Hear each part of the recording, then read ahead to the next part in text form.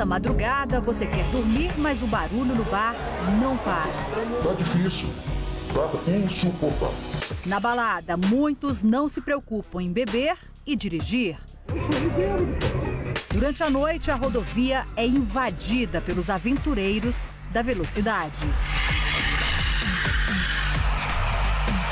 Tudo isso e muito mais você confere na nossa nova série Perigos da Noite. É no Jornal Anhanguera. Tô te esperando, hein?